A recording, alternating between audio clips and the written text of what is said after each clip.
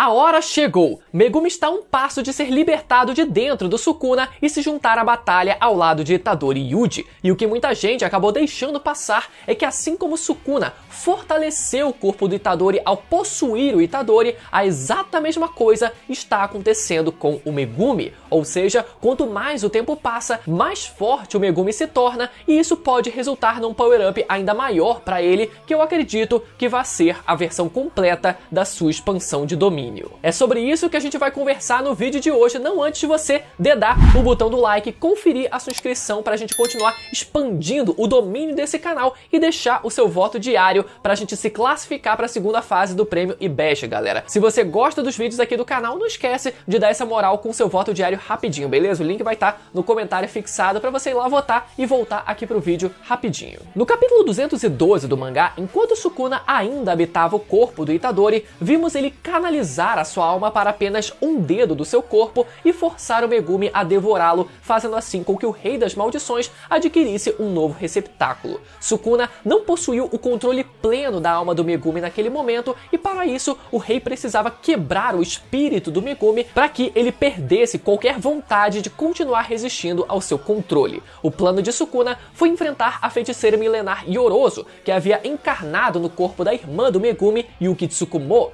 Yoroso já conhecia Sukuna desde a era Heian e desejava lutar contra o rei, então a batalha já contava com interesse mútuo desde então. Mas antes do dia da batalha, Sukuna realiza um primeiro preparativo, um ritual preparado por Uraume, onde o rei é mergulhado numa piscina de energia amaldiçoada, banhada com um núcleo de vários espíritos amaldiçoados. O resultado disso, toda aquela energia maligna fez com que a alma do Megumi se afundasse ainda mais na escuridão e se tornasse ainda mais suscetível à possessão completa do Sukuna. Após esse preparativo, Sukuna enfrenta a feiticeira Yoroso e a vence sem grandes dificuldades, resultando na morte da feiticeira e por consequência de seu receptáculo. Lá se vai mais uma gostosa, né? Mas a parte mais importante dessa batalha é que isso não só levou a irmã do Megumi à morte, mas através das mãos do próprio Megumi, que estava sendo controlado pelo Sukuna. Ou seja, todo o propósito de vida do Megumi desde o começo da história se perdeu completamente nesse ponto. Megumi desejava ser um feiticeiro para que ele pudesse cuidar da sua irmã que vivia internada no hospital. E de repente, tudo isso vai pelos ares e Megumi se vê sem um propósito de vida e, portanto, sem mais nenhum motivo para resistir. O domínio de Sukuna sobre Megumi estava finalmente completo.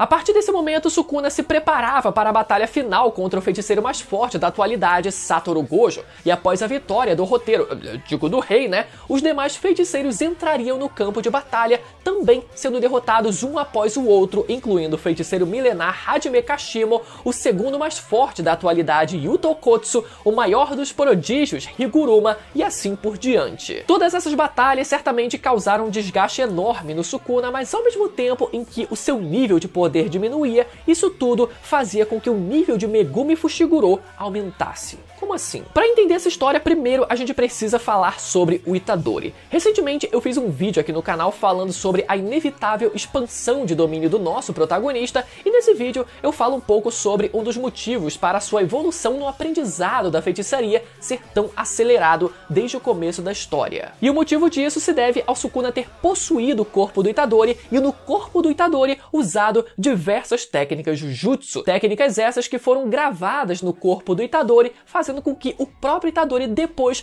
pudesse reproduzi-las de forma mais fácil. Isso porque isso acabou gerando uma certa memória muscular que fez com que o próprio corpo do Itadori conseguisse reconhecer aquele estímulo, reconhecer aqueles movimentos e reproduzi-los com uma maior facilidade quando comandados pelo próprio Itadori e não pelo Sukuna. Claro que esse não foi o único motivo para o Itadori ter um desenvolvimento tão rápido assim, já que mesmo antes de ser possuído pelo Sukuna, ele ele já era extremamente forte, mas de fato esse foi um deles. Já durante o treinamento de um mês antes da batalha contra Sukuna, vimos que os feiticeiros se aproveitaram disso como parte de suas estratégias. Através da técnica inata do Ui Ui, os feiticeiros foram capazes de trocar de corpos entre si e de tanto usarem diferentes técnicas estando no corpo de outra pessoa, os feiticeiros foram capazes de desenvolver e aprimorar diferentes habilidades através da memória muscular que foi criada nos seus corpos. No caso do Itadori, Itadori, vimos que ele trocou de corpo com o Kusakabe para aprender principalmente o uso do domínio simples e com isso conseguir se defender da expansão de domínio do Sukuna e em seguida trocou de corpo com o Yuta para aprender a usar a técnica amaldiçoada reversa e com isso conseguir se curar dos seus ferimentos. Ou seja, galera, isso que eu falei para vocês agora foi para mostrar como o Itadori ficou muito mais forte depois de tanta gente ter entrado, adentrado no corpo dele, seja o Sukuna, Kusakabe ou o Yuta. Então o exato mesmo efeito deve sim acontecer com o Megumi. Além de um power-up nas habilidades básicas de combate do Megumi, o Sukuna também ajudou com a técnica das 10 sombras e provavelmente também com a sua expansão de domínio. Mas vamos falar primeiro sobre a técnica das 10 sombras. Sabemos que o Megumi sempre tentou invocar uma Horaga em literalmente toda a batalha em que ele se metia, mas sempre como um ato suicida, já que ele ele nunca foi capaz de domar essa sombra através do ritual da técnica das 10 sombras, mas de alguma forma, provavelmente numa batalha off-screen, durante aquele intervalo de um mês antes da batalha final, Sukuna, usando o corpo do Megumi, foi capaz de domar uma Horaga num ritual oficial e ainda liberou as outras três sombras restantes: o cervo, o touro e o tigre. Agora a pergunta que fica é: Caso Sukuna se separe do corpo do Megumi, o Megumi ainda seria capaz de usar as sombras domadas pelo Sukuna, incluindo uma Horaga? Eu particularmente acredito que sim, afinal o ritual ainda foi feito usando o corpo do Megumi e ele ainda é o dono dessa técnica. O Sukuna nada mais era do que o intruso usando o corpo dele. Mas claro que não dá para ter certeza, né, absoluta disso, afinal o Gegele também poderia dizer que as sombras não obedeceriam ao Megumi porque elas saberiam diferenciar quem realmente as domou, então existem, né, argumentos para os dois lados nesse caso. Mas vendo a reta final do mangá, não faz sentido o Gegele puxar a marcha ré, né, meu amigo? Vamos andar pra frente, vamos, vamos escalar a coisa pra cima. Mas independente disso, sabemos que o Mahoraga foi destruído por Satoru Gojo e também sabemos que quando uma sombra dessa técnica morre, ela nunca mais poderá ser invocada de novo por aquele feiticeiro. Então isso significa que a gente nunca mais vai ver o Mahoraga sendo invocado pelo Megumi, mas Outra coisa que também sabemos é que quando uma sombra dessa técnica morre, a sua essência é automaticamente herdada por outra sombra do arsenal do Megumi. É só a gente lembrar daqueles dois cães do Megumi lá no começo do, do anime, em que o branco morre, mas a sua essência é herdada pelo outro cão preto, formando assim uma versão ainda mais poderosa. E aqui você me pergunta, tá, mas onde é que tá o demérito nisso? O cara perde uma sombra e ganha uma versão fundida, sabe, tão forte quanto as duas separadas? De fato, mas mas vale lembrar que com isso o usuário da técnica perde versatilidade por não poder mais usar várias sombras diferentes ao mesmo tempo. Mas de fato, ainda assim, essa continua sendo uma técnica extremamente apelona. Isso não é por acaso. Segundo o próprio Satoru Gojo, a técnica das 10 sombras foi dita ser capaz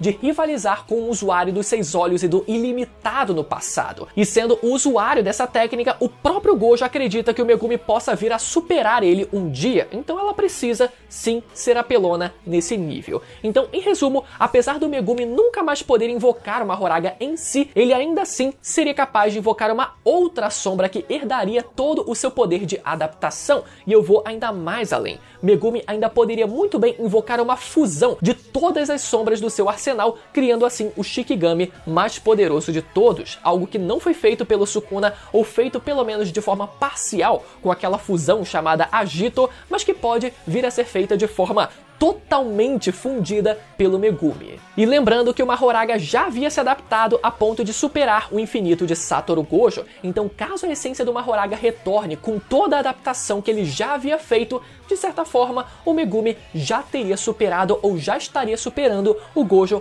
com a ajuda do Sukuna. Mas agora, e quanto à expansão de domínio do Megumi, o Jardim das Sombras Quimera? A primeira coisa que vale a gente observar é que depois de possuir o corpo do Megumi, o Sukuna nunca realizou a expansão de domínio da técnica das Dez Sombras. Alguns de vocês podem imaginar que talvez ele não pudesse fazer isso, mas se ele tinha total acesso à técnica das Dez Sombras, não existe motivo plausível para que ele não pudesse usar a sua expansão de domínio também. Afinal, uma expansão de domínio é justamente a representação máxima de uma técnica inata. Mas então, por que, que o Sukuna não usou? Porque por mais que ele pudesse usar essa expansão de domínio, o Santuário Malevolente se provou ser a expansão de domínio mais poderosa da obra, tendo superado diversas vezes o próprio vazio ilimitado do Gojo. Então faz sentido que o Sukuna tenha preferido usar apenas a sua própria expansão durante toda a batalha. Mas o fato é Caso Sukuna expandisse o Jardim das Sombras Quimera, ele certamente executaria uma expansão de domínio completa e num nível muito acima do que o Megumi mostrou pra gente. Isso porque sabemos que o Megumi nunca foi capaz de expandir o seu domínio de forma completa e sempre precisou ativar a expansão dentro de lugares fechados, como prédios e estádios, para usar as suas paredes e estruturas como um suporte para que ele pudesse erguer a barreira do seu domínio. Então, esse sempre foi o grande desafio do Megumi, conseguir fechar a barreira do seu domínio,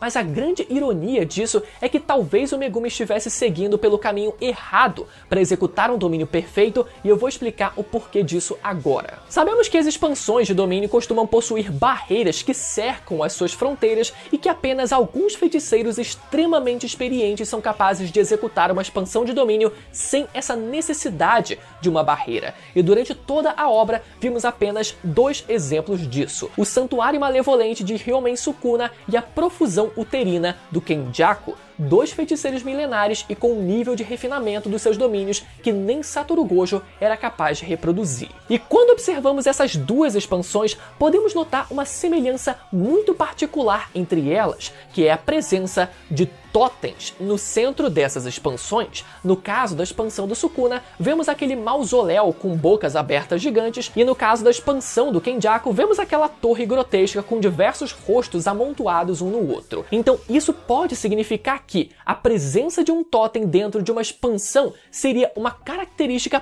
particular apenas daquelas expansões que não necessitam de uma barreira. Agora, quando observamos a expansão de domínio do Megumi, em particular daquela vez em que ele ativa a sua expansão mais recentemente durante o jogo do abate, podemos ver também a presença de um totem dentro do seu domínio, assim como os outros dois. Ou seja, isso pode significar que a expansão de domínio do Megumi também possa vir a ser executada sem a necessidade de uma barreira. Por isso que eu disse que o Megumi estava seguindo pelo caminho errado, porque ao invés dele pensar em formar uma expansão de domínio com uma barreira fechada, ele deveria pensar no contrário, em formar uma expansão de domínio irrestrita por uma barreira, um jardim de sombras que escureça absolutamente tudo ao seu redor. Então, além do Sukuna não ter tido motivo para usar a expansão de domínio do Megumi, pode muito bem ser que o autor tenha guardado esse mérito para o Megumi realizar ainda no final de Jujutsu Kaisen.